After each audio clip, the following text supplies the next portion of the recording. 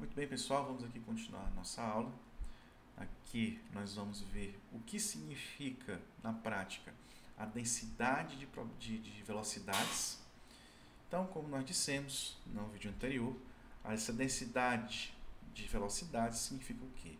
Nós temos uma distribuição esférica em que nós temos um raio cujo, cujo módulo é igual à velocidade resultante das partículas do gás que compõem esse sistema e o que a gente precisa para definir essa função densidade. Primeiramente, nós precisamos inserir um fator energético, que é justamente o fator exponencial, que isso vem lá da mecânica estatística. Portanto, exponencial de menos beta vezes k, que é justamente a energia cinética média. E esse valor de beta representa quem? Menos 1 sobre kb vezes então, esse beta nada mais é do que um fator de redução, porque se repete muito dentro da termodinâmica e também na, termodinâmica estatística. E nós temos aí um resuminho, né? quando falamos um beta, nós dizemos que é o fator de Boltzmann. O K dentro do bracket nós já sabemos que é energia cinética média. E a área da esfera é igual a 4πc ao quadrado, que seja justamente o raio dessa esfera. Sendo assim, nós temos essa proporcionalidade. E para que a gente remova o sinal de proporcionalidade, nós inserimos uma constante, que é justamente a constante A. E quais são as outras condições de contorno para o cálculo da integral? Nós vamos sair de uma velocidade inicial zero até uma velocidade que nós não conseguimos determinar, que vamos dizer aqui que seja infinito.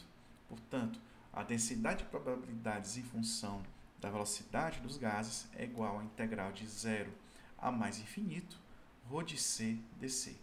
E aí nós substituímos a, a proporcionalidade de rho de C dentro da integral. A é uma constante, fica do lado de fora. E sobra quem? A integral de zero a infinito, exponencial de menos meio de beta mc ao quadrado, 4πc ao quadrado dc.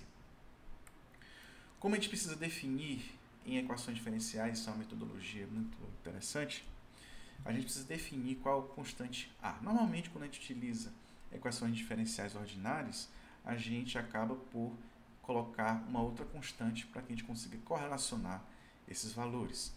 Mas nós temos aqui um trunfo, que é justamente o que? A probabilidade em si. Como a probabilidade é uma quantidade que varia entre 0 e 1, ou 0% até 100%, a gente pode definir justamente o que? Nós podemos definir o valor máximo, ou seja, qual vai ser a condição, né, qual vai ser o valor da constante quando nós tivermos aí 100% de probabilidade de saber todas as velocidades das partículas dos gases. Então, quando nós fazemos isso, nós igualamos, nós igualamos a integral a 1 e assim a gente define. Né? E lembrando que aqui é uma integral que já é tabelada, são integrais que já existem nos handbooks de matemática, então vocês não precisam bater cabeça. Sempre vai ter alguém que já fez isso pela gente. Sempre vai ter alguém que sofreu por nós antes, né? Então, a gente define que essa, essa constante A, após resolver a integral, é esse valor aqui, beta m sobre 2π elevado a 3 meios, ou seja, o fator de Boltzmann, a massa do gás, dividido por 2π, que é justamente o fator de área esférica, que é elevado a 3 meios. E aí, substituindo esse valor lá naquela outra expressão da função de probabilidade, nós chegamos em que? Nós chegamos em 4π beta m sobre 2π elevado a 3 meios, c ao quadrado exponencial vezes menos meio de beta mc ao quadrado, resultando que, enxugando a equação, nós temos que a densidade de probabilidade depende das velocidades que existem no sistema gasoso.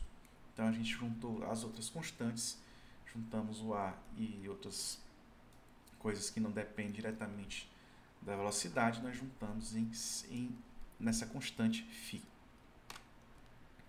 Agora vamos analisar o gráfico gaussiano em função dessa distribuição esférica de estados. Nós sabemos que, esse, que essa probabilidade das velocidades ela depende, evidentemente, das velocidades. Então, observem que essas velocidades dentro da distribuição tem um fator quadrático aqui dentro e nós temos um fator exponencial. Então, nós temos a junção de duas coisas. De uma curva que ela é uma parábola, com concavidade para cima, e nós temos aqui uma exponencial que ela é decrescente. Por que eu sei disso? Porque se ao quadrado é uma função par, então se eu substituir valores ímpares, ou valores negativos, melhor dizendo, quando eu substituo valores negativos dentro de c ao quadrado, sempre vai ser um valor par. Então, quando imaginarmos y igual a x quadrado, nós temos ali uma curva parabólica com a concavidade para cima e ela é simétrica exatamente no eixo y. Já a equação exponencial, eu sei que ela é decrescente porque eu tenho um termo negativo, portanto, ela é exponencial decrescente. Então, quando você aumenta a velocidade, aumenta c ao quadrado, né? Isso aí é uma coisa que que é até mais agravante, né? Que é uma coisa que agrava mais ainda a análise do gráfico. Quando a velocidade aumenta ao quadrado, ela decresce exponencialmente negativamente. Então, o valor multiplicado ao quadrado. Então, vamos aqui analisar duas situações, onde a probabilidade tende a um valor zero e a probabilidade tende ao valor infinito. E qual o valor aqui que nós estamos tomando como referência? É justamente a velocidade total. Então, vamos imaginar, primeiramente, passando o limite dessas densidades de probabilidades indo para zero. Quer dizer, significa dizer P de zero, que vai tender ao quê? Zero elevado ao quadrado, zero. Zero elevado ao quadrado, zero. Então, toda essa exponencial fica 1. 1 vezes zero, zero. Zero vezes qualquer número, zero. Portanto, nós temos uma tendência de valor da função probabilidade tender a zero. Quando nós temos um valor da probabilidade das velocidades quando ela tende ao infinito, nós já temos também um certo probleminha aqui. Qualquer operação que tivermos com valores infinitos sempre vai ser um valor indeterminado. Portanto, quanto é uma indeterminação? Como o nome já sugere, é uma indeterminação. Portanto, eu posso operar à vontade, esse valor sempre vai ser indeterminado. Portanto, infinito ao quadrado continua sendo infinito, porque eu não sei quanto é que custa esse valor. Porém, eu sei quanto é que vai tender uma, uma função exponencial.